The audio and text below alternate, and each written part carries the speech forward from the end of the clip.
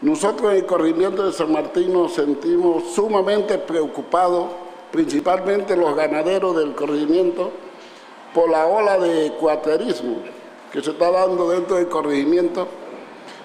Eh, el mes pasado a una sola persona le gustaron 11 eh, reses, posteriormente eh, a otra persona 15 reses más, y la semana pasada 32 reces a una señora que estaba empezando que la dejaron sin nada. Personas que tienen deudas con el banco, personas que es el sustento de esta, para llevar el sustento a su casa.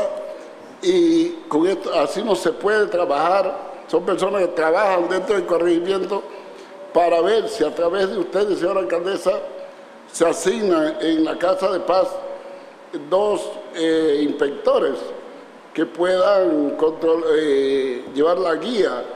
Así el municipio también va a tener más ingresos y se va a controlar un poco porque y a ver cómo hacemos una reunión, el alcalde, el juez de paz, a ver cómo le estoy enviando nota al director de la policía, al presidente de la república, que sabemos que también es ganadero, para ver cómo controlamos esto, porque de lo contrario la gente va a tener que dejar de crear ganado en el corregimiento.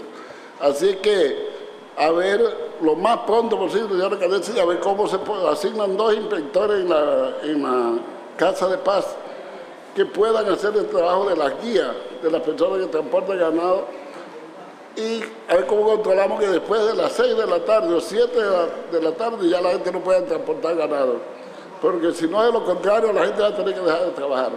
Así que a ver cómo nos apoya en esto, señora alcaldesa. Gracias.